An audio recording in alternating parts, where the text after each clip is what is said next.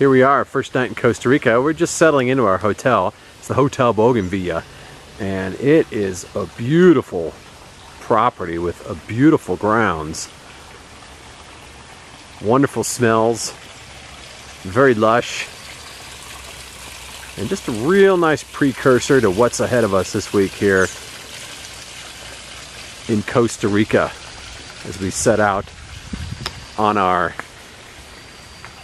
nine day adventure.